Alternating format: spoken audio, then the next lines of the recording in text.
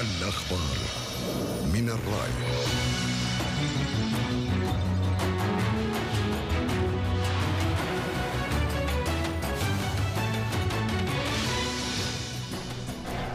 نحن أمة قهرها الغرب. حين نجح في مراوغتها نجاحا لم يحققه مع أي أمة أخرى. أن عالمنا العربي مؤهل ليكون كيانا فاعلا في هذه في هذا العالم. نخبة من وزراء وساسة الدول العربية والغربية يجتمعون بين أروقة المؤتمر الدولي لمجلس العلاقات العربية والدولية لتشييد جسور علاقة تفاعلية بناءة بين العرب والغرب. في دعوى أمن الدولة ضد البراك. هيئة الدفاع تطالب المحكمة باستدعاء رئيس الوزراء للمثول أمامها والجنايات ترحل القضية إلى الحادي عشر من مارس. أنا ودي أعرف أسماء النواب اللي قالوا هالكلام حتى حقيقة يصير التعامل بالمثل لأن وايد هذا اللي مو خش أوادم مو كفو. القلاف يفند أسبابا دفعته لمساءلة الإذانة وينتقد من تساءل من النواب عن دوافع المستجوبين وغاياتهم. لجنة التحقيق في جسر جابر ومحطة الزور تضع اللبنة الأولى لعملها خلال الأيام القادمة وتعد بمواصلة تقصي الحقائق للوصول إلى تقرير كامل متكامل. نشرة الأخبار من الرأي أهلا بكم. الوطن العربي والعالم رؤية مستقبلية كان شعارا للمؤتمر الدولي الأول لمجلس العلاقات العربية والدولية الذي تم افتتاحه على أرض الوطن برعاية أمير الكويت الشيخ صباح الأحمد وبحضور رئيس مجلس الوزراء الشيخ جابر المبارك. ويهدف المؤتمر إلى صياغة سياسة مشتركة اتجاه علاقات الوطن العربي مع دول العالم الكبرى ودول إقليمية لضمان تأمين مصالح الشعوب في الأمن والاستقرار والاقتصاد. التفاصيل في تقرير لمحمد دحياري الوطن العربي وقدرته على صناعة القرار السياسي العالمي بات موضوع بحث المؤتمر الدولي الأول لمجلس العلاقات العربية والدولية. مؤتمر يهدف إلى التسامي على الجراح والتغاضي عن الخلافات والالتقاء على طاولة صنع القرار وقيادة التحول العالمي في ظل علاقات الوطن العربي مع القوى الإقليمية في الغرب أو مع إيران أو تركيا. منطلقا من التاريخ المشترك والمصلحة الواحدة وسط دعوات لتحرك فاعل يبدأ بإصلاح الجامعة العربية. نحن أمة قهرها الغرب حين نجح في مراوغتها نجاحا لم يحققه مع أي أمة أخرى. ونحن أمة خذلها التعصب حين حال دون لحاقها بقطار الحداثة فخرجت عن عصرها. ونحن, ونحن أمة ظلمت نفسها حين أصرت على دخول المستقبل بالرجوع إلى الماضي. ولكن لا جدال أيضا في أننا لست ليست أمة يائسة. وبغض النظر عما يجري حاليا في العالم العربي من ثورات وانتفاضات ومن تغييرات الأنظمة الحاكمة في بعض الدول العربية ومن توجه دول عربية أخرى لإصلاح وتطوير أنظمتها السياسية بحيث تواكب روح العصر وتنسجم مع التطلعات الشعبية وتتيح فرص أكبر للمشاركة السياسية بغض النظر عن كل ذلك فإن عالمنا العربي بحكم موقعه وموارده وتاريخه وإسهاماته الحضارية وبحكم كثافته البشرية وثقله الاقتصادي ووزنه الاستراتيجي مؤهل ليكون كيانا فاعلا في هذه في هذا العالم ومركز ثقل مهم. ولاعبا مؤثرا لا يمكن تجاوزه في معدلات السياسة والاقتصاد. المؤتمر الذي يستمر على مدار يومين متتاليين ينعقد في ضوء الربيع العربي. ووسط صورة ذهنية تحضر تداعيات المشهد في عدد من الدول العربية على أمل صياغة سياسة مشتركة تكون ملهما في تحديد معالم الرؤية المستقبلية بعد أن استنفذت فكرة القطب العالمي الواحد. لابد من آه، زخم دولي عن آه، طريق مؤتمر دولي لدعم الاقتصاد المصري في خلال السنوات الخمس القادمة. آه، مصر تحتاج إلى دفعة آه، مالية واقتصادية آه، علشان الاقتصاد يتحرك. في خلفية أذهان الجميع من المشاركين أن ال- ال- ال- ال- المعاناة التي يعانيها الشعب السوري على يد النظام ولا سيما ال- الاستغراق الكبير في اللجوء إلى القوة واستعمالها ضد ضد الشعب السوري الذي أثبت بنضاله. وبصموده الأسطوري آه، أنه ماض إلى أن تتحقق مطالبه. وتنعقد الآمال على هذا المؤتمر في وضع خارطة طريق للعالم العربي تجعل منه عضوا فاعلا ومؤثرا عالميا قادرا على وضع السياسات ومؤثرا في الدبلوماسية الخارجية. محمد الحياري الرأي. في الشأن القضائي أجلت محكمة الاستئناف قضية أمن الدولة المتهم فيها النائب في المج... في مجلس 2012 المبطل عبيد الوسمي إلى الجلسة الثالث من مارس في سياق آخر. أجلت محكمة الجنايات أيضا قضية النائب السابق مسلم البراك إلى جلسة الحادي عشر من الشهر القادم لاستدعاء مدير أمن إدارة الأمن الوقائي والاستماع إلى شهادته. يذكر أن هيئة الدفاع عن البراك قد طالبت من المحكمة استدعاء رئيس الوزراء الشيخ جابر المبارك للإدلاء بشهادته في القضية.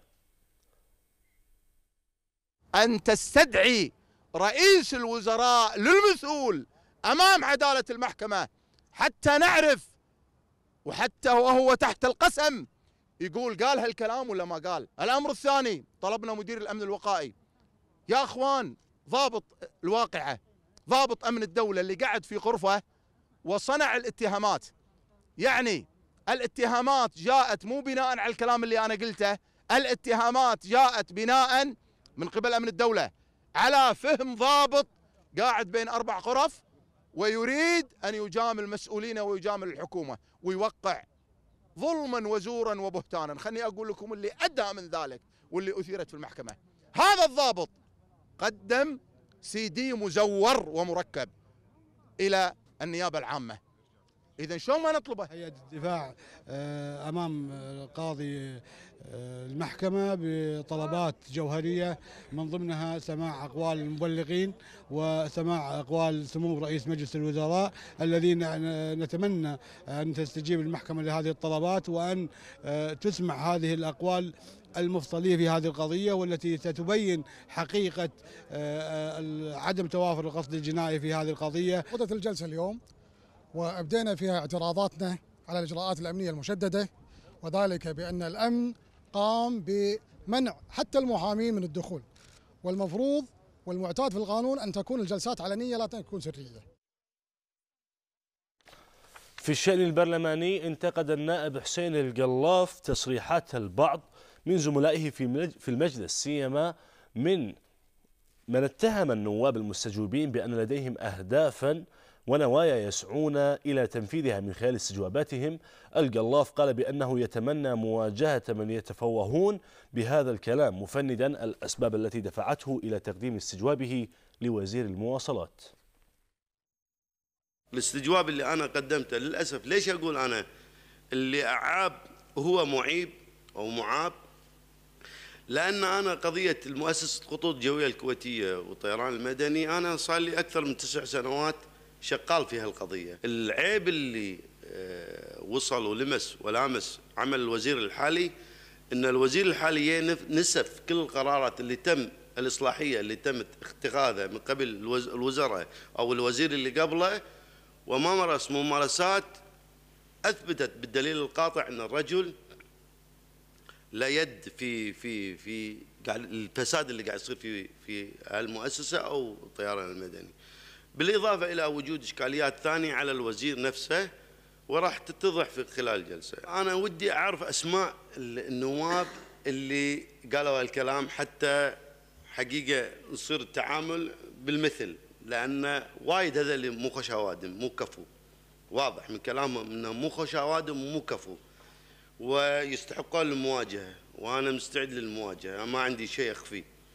هذا قاعد يحاسب على نوايا وقاعد يحط يحط آه، اتهامات بعيدة. هذا يبي يبرر موقفه. أنا بقول لك آه، الأدلة اللي عندي أدلة دين ومحكمة وحجية فيها قائمة. وهذا الكلام الكلام اللي يقوله أتمنى أعرف اسم النائب هذا اللي قاعد حتى أتكلم عليه أرد عليه بالاسم. وأبين هذا شنو؟ يعني إحنا كنا نعاني من وجود هالنوعيات في المجالس السابقة لكن هذا المجلس أتصور حفظ لكرامته سموه اراجوز وسموه دمى وسموه طرطور وسموه بجيب الحكومة وياي على كل التسميات والتهم اللي عليه ما يستحي يتهم من قاعد يثبت خلاف ما يقال من قبل من يعارضنا إن هذا المجلس لا هو بجيب الحكومة ولا هم دمى دمى ولا رقزات. هذا المجلس أقسم نوابه للعمل الصادق واحساس بالمسؤولية وقاعد يؤدون دورهم. مذكرة نيابية يجمع التواقيع عليها النائب نبيل الفضل يطالب فيها بإعادة اللاعب بدر المطوع إلى عمله في الحرس الوطني بعد استبعاده لأكثر من عامين. الفضل تحدث مطولا عن المطوع وما قدمه للكويت مطالبا رئيس الحرس الوطني بالنظر في الطلب النيابي الذي سيرفع إليه والمذيل بتواقيع أعضاء البرلمان إحنا كنواب من موقعنا التشريعي طبعا أكثر ناس نصر على تطبيق القانون أه ونحث على ضرورة تطبيقه من قبل آه، أجهزة الدولة. لكن في نفس الوقت هناك دائما استثناءات في الحالات الخاصة. ومن هذه الحالات الخاصة اللي قاعدين نشوفها قضية اللاعب الوطني بدر المطوع اللي هو رمز بالنسبة لشبابنا ومصدر فخر واعتزاز بالنسبة للمواطنين كلهم آه، بمواهبه وبإنجازاته مع فريقنا الوطني.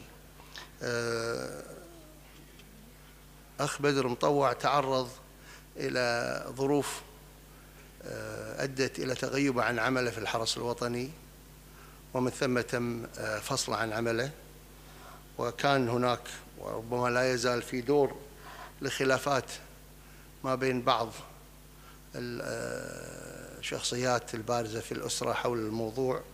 آه، أدى إلى تعقيد الموضوع والآن الرجل صار له أكثر بحدود سنتين ممنوع.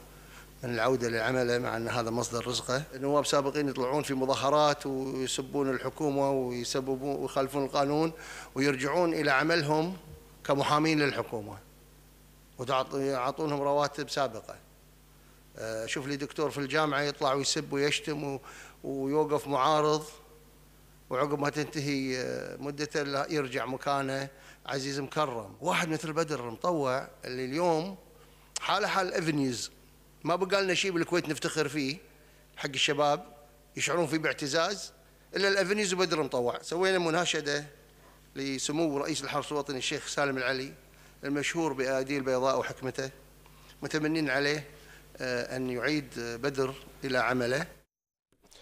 برلمانيا أيضا طالب النائب خالد الشطي الحكومة بمحاسبة الوزير الأسبق أحمد باقر الذي كان قد أدلى بتصريح بشأن رفضه لقوانين مكافحة الإرهاب الشطي الذي رحب بالسعي الحكومي والنيابي لإقرار حزمة قوانين غسيل الأموال ومكافحة الإرهاب تساءل عن من يتحمل فترة السنوات العشر التي مضت دون إقرار هذه القوانين. هذه الأيام في الآونة الأخيرة هناك جهود حكومية حثيثة سواء من قبل وزارة الخارجية أو من قبل وزارة العدل. خطوات جادة في سبيل إقرار الاتفاقيات والقوانين في شأن مكافحة غسيل الأموال ومكافحة دعم الإرهاب. هذه خطوات جادة ولكن الذي أستطيع أن أقوله اليوم صباح الخير يا حكومة بعد ماذا؟ بعد عشر سنوات أنا أعلم ضرورة إصدار هذه التشريعات ولكن من هو المسؤول عن تعطيلها لمدة عشر سنوات؟ أنا اليوم أريد أن أعلن عن أحد الأسماء وهو الوزير الأسبق لوزارة العدل ووزير لوزارات أخرى أيضا كان اللي هو أحمد باقر. أحمد باقر بعد أعمال أسود الجزيرة في الكويت صدر بتصريح بأن نحن لسنا بحاجة إلى قوانين لمكافحة الإرهاب في الكويت تشريعاتنا كافية. في عمل اللجان البرلمانية انعقد الاجتماع الأول للجنة التحقيق في عقدي جسر جابر ومحطة الزور. مقرر اللجنة النائب عدنان المطوع تحدث عقب الاجتماع عن الخطوات المقبلة التي ستعمل في إطارها اللجنة إلى حين انتهاء المدة الممنوحة لها من مجلس الأمة.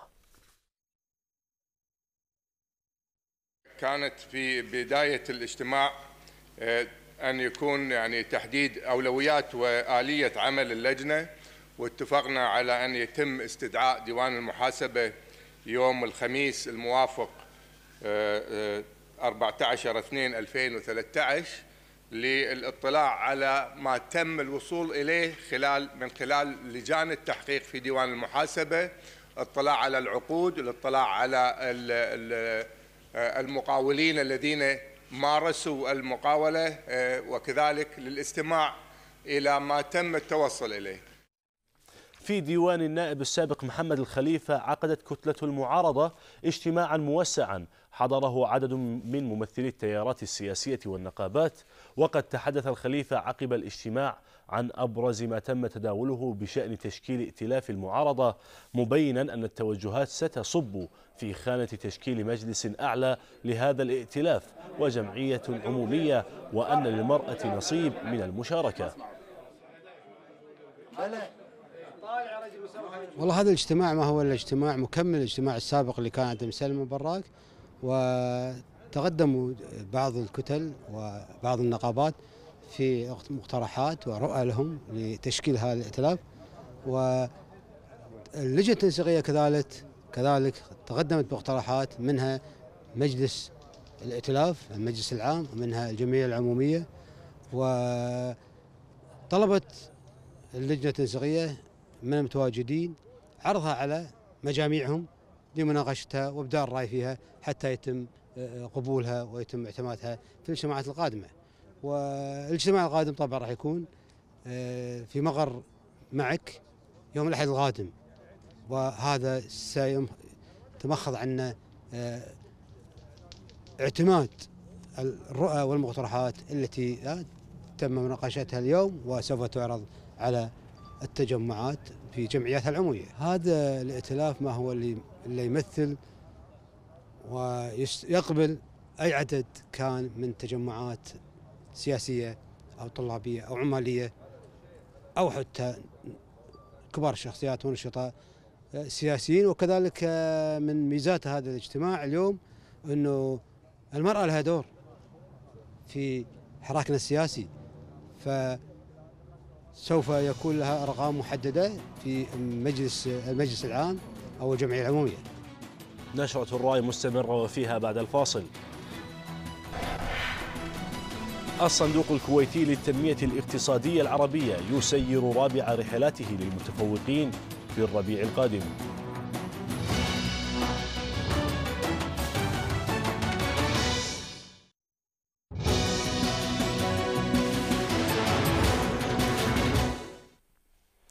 أهلا بكم إلى النشرة الاقتصادية يواصل الصندوق الكويتي للتنمية الاقتصادية العربية استعداداته لتسيير رابع رحلاته للمتفوقين والمتفوقات من طلبة المرحلة الثانوية المقررة بحلول فصل الربيع تحفيزا على مسيرتهم العلمية. وقال الصندوق أن تلك الرحلات هي مكافأة للطلبة على تفوقهم من خلال زيارتهم. إحدى الدول المستفيدين من الجهود التنموية للصندوق والتعرف على مشروعات التنمية فيها. على تراجع قدره أربع نقاط أغلق مؤشر الكويت ليبلغ مستوى عشرة آلاف نقطة وتسعة وعشرين نقطة بينما أغلق المؤشر السعري على ارتفاع قدره 28 نقطة بمستوى 6320 نقطة وتسعة أعشار النقطة وعلى عكسه أغلق المؤشر الوزني على تراجع قدره نصف النقطة ليصل إلى مستوى 427 نقطة وتسعة أعشار نشرة الرأي مستمرة وفيها بعد الفاصل. استعدادا لبطولة الكويت الدولية الكبرى نادي الرماية يختتم بطولة الشيخ جابر العبد الله السنوية بمشاركة واسعة.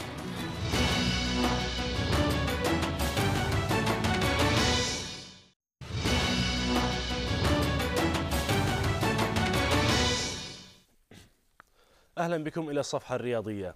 اختتمت على مجمع ميادين ميادين الشيخ صباح الأحمد الأولمبي للرماية بطولة الشيخ جابر العبد الله الصباح السنوية للرماية وشارك في البطولة التي شملت على مسابقات رماية الأطباق الطائرة السكيت والتراب والدبل تراب عدد كبير من رماة ورميات النادي والاتحادات العسكرية إلى جانب رماة من الدول الشقيقة. الرماية سكيت الشيخ جابر من. من الداعمين منذ تأسيس رياضة الرماية وبالتالي نادي الرماية وضع دائما على جدول بطولاته ومسابقاته هذه البطولة ال- الهامة وتأتي أهميتها هذه السنة إعدادا لبطولة دولية لحضرة صاحب السمو والتي ستنطلق إن شاء الله بداية شهر مارس آه، 2013 فكل الشكر والتقدير لمعالي الشيخ جابر العبد الله ولكل المنظمين لهذه البطولة الهامة والشكر موصول والتهنئة لكل الفائزين والشكر موصول لوسائل الإعلام على حضورها ودعمها وتغطيتها. أحب أهني الإخوان الفائزين آه، في كل القطاعات وأيضا أحب أشكر آه، الشيخ سلمان صباح سالم الحمود ومجلس إدارة الرماية على التنظيم الرائع. هذه البطولة صار لها من بعد التحرير سنويا وإن شاء الله تستمر إن شاء الله ونتمنى للجميع التوفيق إن شاء الله. وقبل ختام النشرة لهذا اليوم نذكركم بمتابعتنا عبر موقع تويتر @الراي Media Group. أيضا تستطيعون مشاهدة جميع نشرات وبرامج تلفزيون الراي عبر قناتنا على اليوتيوب الراي Tube. إلى اللقاء.